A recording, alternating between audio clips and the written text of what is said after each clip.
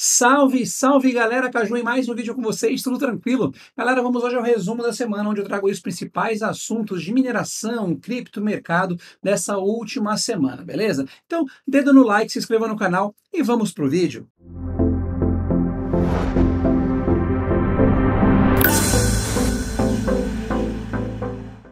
E gravando esse resumo da semana hoje aqui, né, no escritório, aqui em casa, porque tô focado em um vídeo aí de uma entrevista que eu fiz com o desenvolvedor do Lowminer. A entrevista dele foi em inglês, então eu tenho que fazer toda a tradução, né, do que ele respondeu e ainda sincronizar com o vídeo as legendas, galera. E isso não é uma coisa que eu tenho muita experiência e tá dando muito trabalho. Eu há quatro dias em cima desse vídeo, mas acredito que entre segunda, terça e mais tardar quarta-feira esse vídeo vai ao ar.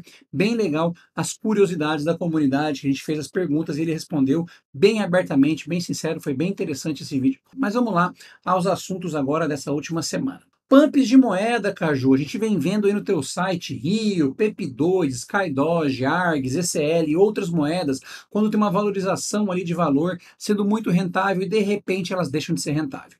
O que acontece? Essas moedas têm uma rede pequena, então quando sobe o valor ela passa a ser rentável, muita gente migra para ela, rapidamente a produtividade cai, porque o hash rate de rede sobe e ela não segura o valor lá em cima na recompensa. Então, a gente tem que saber o seguinte, se você você minerar essa moeda com esse valor alto da moeda, você tem que vender ela nesse valor alto. Se cai a rentabilidade, você tem que verificar se está caindo a rentabilidade por conta do valor da moeda que caiu ou se é por conta da dificuldade de rede que subiu. Se for o valor da moeda que caiu e ela é uma moeda que não tem altos e baixos constantes, pare de minerar essa moeda. Se foi a dificuldade de rede que subiu muito, pare de minerar essa moeda porque você não está recebendo. Se foi uma moeda que caiu o valor, vou mostrar na tela para vocês aqui a Rio, ó, que ela sobe e desce 50, 100% direto. Se, se essa rentabilidade cai porque a moeda caiu esse valor, pode continuar minerando porque vai ter outros movimentos de alta e você vai ter um, momentos de venda dessa moeda com uma valorização maior. Então, analisem bem esses gráficos de valores e o gráfico de produtividade das moedas para vocês entenderem o que está acontecendo na moeda que vocês estão minerando. Ou, se não quiserem se aventurar nessas moedas que sobem e descem toda hora, tentem minerar as moedas mais estáveis, que figuram nas top 5 há mais tempo, com mais estabilidade, que vocês vão ter esse problema de ficar preocupados em comprar, vender ou algo desse tipo. E vamos agora ao assunto da Nice Hash Mente novamente. É isso aí. A gente viu um vídeo semana, o Berna Crypto trouxe um vídeo mostrando aí a Nice Hash e muita gente vinha perguntando para mim, Caju, tá subindo toda a rentabilidade da Nice Hash. Vira e mexe, Nice Hash, ET Hash, ETC Hash, né? Os algoritmos está pagando muito mais que todas as moedas, galera. Não acreditem na calculadora da Nice Hash. Infelizmente, desde quando eu comecei a minerar, é nítido a mentira que a Nice Hash traz na rentabilidade das suas moedas. É nítido a mentira que a Nice Hash publica para fazer com que as pessoas vão até lá minerar. Ela publica hash que sua placa não chega, por exemplo, a 3070 faz mais hash do que minerando normal. Consequentemente, produz mais. Você vai minerar e não recebe aquilo. Ela fala que CPU mine em determinados momentos do dia está pagando 5, 6, 7 vezes que o normal que a gente vê por aí. Aí você vai ver além de um pagamento absurdo que ela está falando que está fazendo, ainda põe um hash rate o dobro, o triplo do que o seu CPU faz. Então, essa calculadora de lucro da Nice Hash, para mim, só é uma calculadora bonitinha, mas nunca serviu de parâmetro, porque nunca, de novo, nunca eu vi alguém ganhar igual ou parecido com o que mostra aqui. É sempre muito menos. E a Nice Hash passando por dificuldade com essa mudança da mineração pós-demerge aí, também fechando os servidores e tudo mais, não muda o seu modus operandi. 3, 4, 5 vezes ao dia, moedas da Nice Hash figuram como melhores pagantes, mas não é 5, 6% a mais, não. É 10, 15, 20% a mais. Então, abram o olho com a Nice Hash. O que ela tem de simples e prático para você minerar, ela tem de mentiroso e de ausência de rentabilidade, viu? Essa semana tivemos aí um assunto bem interessante, onde a XRP, né, ela venceu aquela batalha judicial contra a SEC dos Estados Unidos. Por quê? Porque uma juíza dos Estados Unidos disse que a negociação de XRP em exchanges não deve ser encarada como contratos de investimento, e a SEC estava acusando a XRP de ser isso. O que aconteceu? Automaticamente a XRP valorizou mais de 70%, ultrapassou em market cap a BNB e se tornou a quarta maior cripto do mercado. E isso fez com que Solana subisse, ADA subisse, Matic subisse, todas as moedas que também estavam passando por essa questão aí de serem considerados, né, ah, contratos de investimento, outros valores imobiliários e outras coisas semelhantes a isso que a SEC estava tentando acabar com a brincadeira das criptos, né? E essa vitória da XRP sobre a SEC abriu aí a porteira para as demais criptos que estavam sendo acusadas ganharem também o processo por questão de jurisprudência, é só utilizar né, a mesma jurisprudência ali, utilizar o mesmo tipo de defesa e tudo mais. Lembrando que direito nem sempre é exato, como a gente está falando aqui, mas a probabilidade, o mercado aceitou isso com muita receptividade. E por um momento ali, né, o mercado deu uma boa respirada, Bitcoin subiu tudo estava verdinho na tela dos investidores de cripto, né? Então a XRP mantém-se ali com um valor elevado após essa vitória, mas essa felicidade toda deu uma acalmada nos ânimos nesses últimos dias aí. E aí, falando sobre o mercado que subiu e tudo mais, vamos dar uma olhadinha aí como está o mercado agora e a rentabilidade da mineração. Vou abrir aqui no CoinMarketCap a tela do Bitcoin e se a gente vê no dia que teve essa vitória da XRP sobre a SEC, olha só, o Bitcoin estava valendo 30.200 dólares, 30.300 dólares e ele deu uma subida ali, bateu um pico de 31.716 dólares e ficou ali no dia 13 do 7, no dia 14, acima dos 31 mil. No próprio dia 14 ali, ó, ele já caiu para a faixa dos 30, 150, chegou a beliscar ali 30 mil dólares e 70 centavos, não bateu né, menos que 30 mil, mas está estabilizado agora na faixa dos 30.324. Ou seja, toda essa euforia do mercado pela vitória ali de uma cripto sobre a SEC não durou muito tempo. Fez ali algumas criptos puxarem a, a rentabilidade para cima, a mineração ali de CPU e GPU deu uma valorizadinha nesses dois dias aqui, mas automaticamente com essa queda puxou tudo para baixo de novo e a gente vê muita coisa negativa agora. Vamos dar uma olhadinha agora no site Juliano Caju e ver como é que está a rentabilidade no momento. Se a gente pegar agora aqui a rentabilidade de placas de vídeo, né? A gente vê 3060 mobile, 3070, 70 mobile, 3070 Ti mobile, 40, 4090, 2070 super, tá ali dando tudo em torno de 0.8, 0.7% em algumas moedas, é novo coeficiência ZIL, PEP2, novo coeficiência ZIL, PEP2 coeficiência, né? É, RXD coeficiência ZIL, mas nenhuma moeda rentabilizando muito isso no meu custo energético, que é 0,71.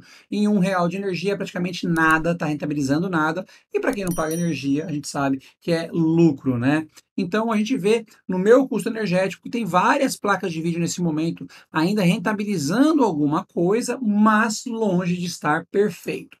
Indo aqui para a rentabilidade de CPU, a gente vai ver ali o Ryzen 9 5950X dando 2,2% ao mês, o 7 7800 2% ao mês, o 9 3900 3% ao mês, e isso mostra que a mineração CPU, né, o CPU mining, continua acima do GPU mining para quem paga a energia. Então, hoje entre ASICs, CPU e GPU, CPU mining continua dando uma rentabilidade em torno de 2 a 3% para o custo energético mediano. Custo energético de um real, você tem alguns processadores dando 1% no máximo, né? E quando você zera o custo energético, a rentabilidade fica bem interessante. Aí você abre GPU, CPU e ASICs, né? Todas vão render por causa do custo zero. Lembrando que ASICs o investimento é muito maior do que o de CPU mining, além de ser uma máquina muito específica. Então, eu ainda fico aí animado momentaneamente com as rigs de CPU mining, quem tem aí as minerações de CPU, e GPU mining não deixa de estar rentável em alguns momentos, em alguns custos energéticos. Agora, fazer investimento no momento, comprar equipamentos no momento, eu acho que você tem que fazer muito bem suas contas antes de sair achando que vai ficar rico da noite para o dia fazendo mineração, beleza? Mostrando na tela aí agora para vocês a nossa rifa da 4090, já estamos aí com 22% dos números já vendidos, ó, 1.321 números pagos, né? Nós temos em torno de 20 dias que a gente lançou aí essa a, ação, né? E como eu sempre falo para vocês, é uma ação que a gente faz com que investimento pro canal, a gente faz o sorteio de uma placa do valor compatível e ainda faz ali aquela doação para o projeto de construção de casas para pessoas que precisam realmente de uma moradia. Então a gente segue fazendo esse trabalho aí, tentando angariar cada vez mais para ajudar mais as pessoas. Então, se alguém quiser, está na descrição do vídeo o link aí da 4090, né, da rifa 4090. Lembrando que você consegue colaborar com o canal e ainda, quem sabe, ser sorteado e ganhar um baita de um prêmio como esse, beleza? E, e falando aí de novos mineradores, essa semana foi uma semana de poucas atualizações, tivemos atualização apenas aí do LOL Miner 1.76A, que foi uma atualização muito rápida para consertar aquela questão da mineração de ZIL, o Team Black Miner versão 1.95, que também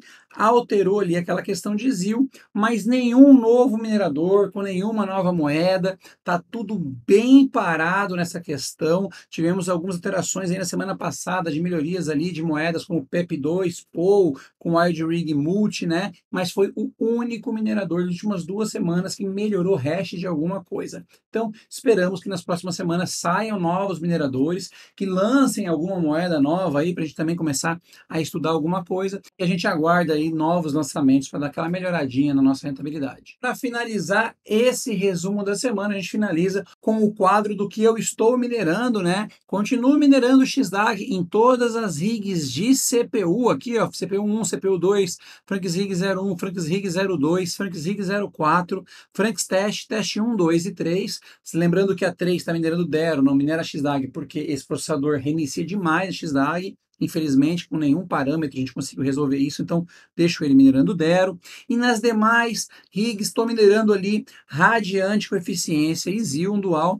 Nas AMD 6000, Nimic e Zil. E nas séries 40, estou minerando PEP2 POU. Mas, Caju, por que, que você está minerando PEP2 POU? por conta da rentabilidade para a série 40. Lembrando que já falei ali no começo do vídeo, eu fico bem de olho na um pagamento né, de recompensa no valor da moeda, e essas moedas eu minero e vendo. Diferente de RXD, Adiante e outras moedas, que eu boto ordens de venda num valor mais alto agora, não estou minerando e vendendo todo dia, né? Estou segurando um, um pouco para ver se eu consigo melhorar mais a rentabilidade. Essas moedas menores não tem conversa. Minero e vendo. Inclusive, nesse momento aqui, ó, se a gente olhar, tá tendo um round de ZIL, ó. Nesse momento, dá uma olhada aqui, ó, os hash rates de ZIL aqui no meu, uh, na minha AMD02 de MIC ZIL, e também percebi aqui nas listagens, ó, ZIL fazendo hash rate em várias rigs no momento, então bem no momento da gravação, a gente teve aí um, um round de ZIL. Sigo aí com essa mineração de dual em moedas de eficiência, moedas rentáveis, para tentar fazer esse mês de julho um pouco melhor do que os últimos dois meses. E o vídeo de hoje foi esse, mais um resumo da semana. Queria estar mais aí participante nas gravações de vídeo, mas você sabe, tive ali né, as reformas do lab, iluminação, vocês viram que eu melhorei cenário, etc. Estou quase tudo pronto lá, finalizando tudo, então está Uh, ocupando muito tempo, além do meu trabalho, que eu já tenho durante o dia normal. Fiz aí já essa semana, né, uma revisão de alguns overclocks e publiquei um novo overclock, né, o dual de Conflux e Caspa. Em breve vamos fazer um vídeo no canal aí. A galera vinha pedindo, também já estou testando Conflux e Radiante para vocês, né? Além disso, estou preso nesse vídeo do Lawminer, fazendo com bastante carinho. É um vídeo que não é um vídeo muito assim a minha praia, mas é muito legal ter esse contato e esse conhecimento que a gente está tendo com esse pessoal do Lawminer, né? Eles abrindo essa porta de comunicação com a gente aqui. Então, sigo aí trabalhando, produzindo menos vídeos do que queria, mas o trabalho aqui, galera, eu mostro para vocês, não para nunca. Quem acompanha o Discord, quem acompanha o site, quem acompanha a aba comunidade, vê que eu estou sempre publicando alguma coisa, fazendo alguma coisa, buscando melhorar a rentabilidade de todo mundo, beleza? Se gostaram do vídeo, deixe seu joinha, deixe seu like para a gente saber que o conteúdo agrada a vocês, todo esse resumo da semana e todo esse empenho agrada a vocês. Se não for inscrito no canal, se inscreva no canal e ative o sininho para receber notificações de novos vídeos. O sininho está aí, só clicar, ativar notificações que ajuda a entregar o conteúdo para todo mundo que nos segue, beleza? O site Juliano Caju está passando aí o endereço na tela rentabilidade de GPU, como eu mostrei, rentabilidade de CPU, a gente tem calculadora, a gente tem informações, a gente tem muita informação, ofertas de produtos, placas de vídeo, links de desconto, maior portal de mineração que tem para você, minerador, usem, abusem à vontade, beleza? O Discord, passando também o endereço aí na tela, como eu venho falando para vocês, tornou-se uma área restrita aí para membros, né? Algo que eu ofereço a mais para os membros, a galera continua lá, trocando informação, trocando dúvidas, tirando dúvidas, sugerindo novos conteúdos. O Discord bem movimentado, mesmo após ter passado aí